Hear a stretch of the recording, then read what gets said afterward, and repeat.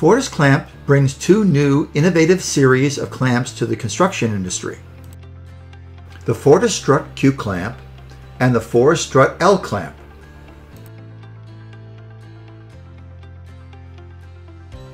This bentwood jig is an application using Fortis strut clamps and strut channel parts and accessories. The intent of this video is to show how Fortis strut clamps can be used to solve various clamping challenges. There are no plans available for this application.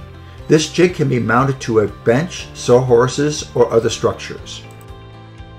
One of the most challenging projects for a woodworker is clamping objects that are not at right angles to each other. Most legacy clamps are designed only to clamp objects parallel to one another.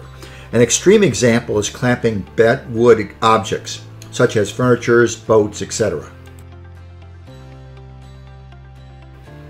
What makes Fortis clamps unique?